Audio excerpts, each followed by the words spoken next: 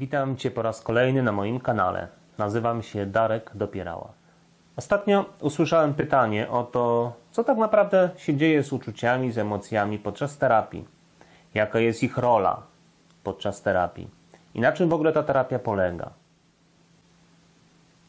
Przypomnij sobie ognisko. Możesz zamknąć swoje oczy, uruchomić zmysły, poczuć zapach dymu, usłyszeć trzask ognia, albo jak otworzysz oczy, zobaczyć iskierki z tego ognia.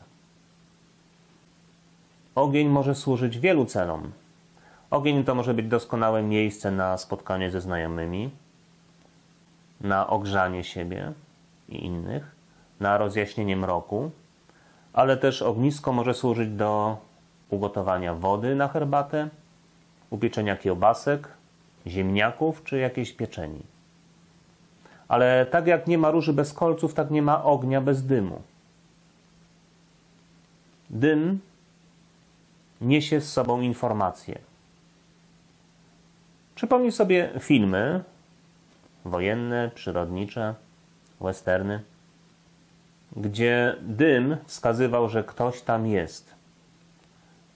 Gdzie zwiadowcy starali się nie rozpalać ognia, nie powodować dymu, żeby nie zdradzić swojej obecności. Dym od wielu lat był używany również do komunikacji.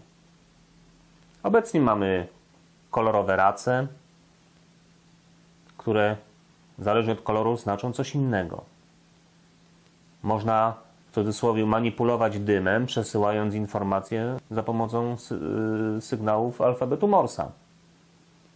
Poprzez większe, mniejsze kłęby dymów, większe, mniejsze odległości przerwy między tymi kłębami. Tylko trzeba odczytać, co to znaczy ten dym. Dym to są uczucia.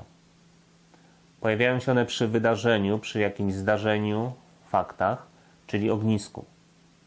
I rolą w terapii jest przyjrzenie się, skąd się bierze dym, czyli jakie wydarzenia, jakie sytuacje go wywołały, określenie, jaką niesie informację, bo czasami informacja ukryta jest głębiej. Są takie uczucia jak radość, zadowolenie, smutek, ale i złość. I na przykład złość ma możliwość ukrywać wiele innych uczuć. Jesteśmy źli, bo tak jak mówimy, Polak głodny to zły. Jesteśmy źli, bo nam coś nie wyszło. Jesteśmy źli, bo na coś się nie zgadzamy. Jesteśmy źli, bo jesteśmy samotni. Może być różnych mnóstwo powodów do samej złości. A więc podsumowując, dym, uczucia niosą informacje. I naszą rolą jest przyjrzeć się, jaka to jest informacja oraz dotrzeć do ogniska, do źródła, co spowodowało to uczucie. I tutaj przychodzi mi do głowy strażak terapeuta? Strażak doskonale wie, że nie każdy ogień gasi się wszystkim. Inaczej gasi się urządzenia, które są pod napięciem elektrycznym, inaczej gasi się płonącą benzynę, inaczej gasi się szkło, inaczej gasi się drzewo, plastik. Stosowane są różne narzędzia: koce, woda, piasek, gaśnice piankowe to na początku terapeuta jest strażakiem i on wie, jak podejść do danego uczucia. Może Tobie pomóc w tym. A kiedy to uczucie wyminie, wypali się, wygaśnie, przejdzie, warto się przyjrzeć, skąd wziął się ogień, skąd zdało, stało się, zdarzyło się dane wydarzenie. A więc jakie doświadczenia z przeszłości, jakie przekonania, jakie poglądy spowodowały to ognisko. Patrząc na uczucia w terapii, pojawia się prosty schemat.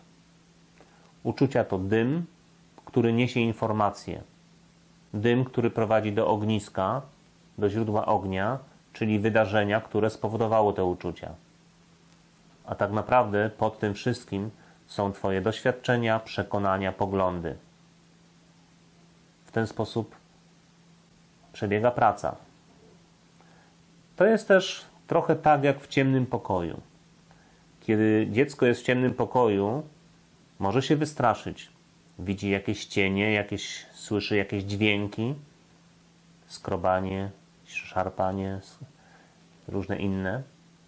Ale kiedy jego wzrok przyzwyczaja się do ciemności, zauważa, że ten cień to może być krzesło albo kapelusz ojca wiszący na wieszaku.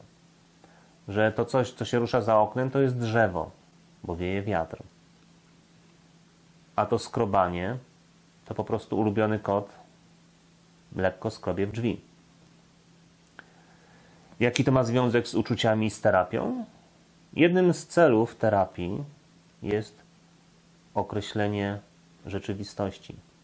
Jeśli będziesz wiedział, jakie uczucia są wywoływane jakim zdarzeniem, jeśli będziesz znał przyczyny tych swoich reakcji, a więc swoje przekonania, poglądy, przeszłość, czasami problem sam się rozwiązuje. Najtrudniej jest wtedy, kiedy nie wiesz, skąd coś się bierze. Jeśli wiesz, możesz podjąć określone kroki. To nie jest proste, bo już wtedy nie powiesz, nie wiedziałem, nie umiałem, nie zdawałem sobie sprawy.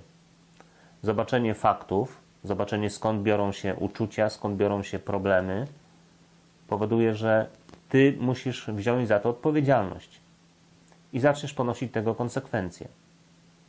To jest trochę tak jak z kałużą, która jest przed domem. Zawsze, gdy pada deszcz, wpadasz w kałużę, jest chlapanie, wszędzie błoto, czasami przeklniesz pod nosem. Ale czy robisz coś więcej? Jeśli spojrzysz na to samo miejsce, kiedy jest sucho, zauważysz, że jest tam jakieś zagłębienie. I możesz je wtedy przysypać piaskiem, wyrównać teren, położyć deskę, a jeżeli nic nie pomaga, to po prostu założyć kalosze. Możesz coś wiedzieć, możesz działać. Na tym też polega praca, terapia, żebyś zauważył pewne rzeczy, pewne fakty, żebyś je nazwał. Z tego filmu chcę, żebyś zapamiętał, czy zapamiętała jedno. Dym to uczucia, niosą informacje, prowadzą do ognia, do ogniska, czyli do zdarzenia, które te uczucia wywoł wywołują. A często jest to po prostu efekt Twoich przekonań, doświadczeń, poglądów, ograniczeń.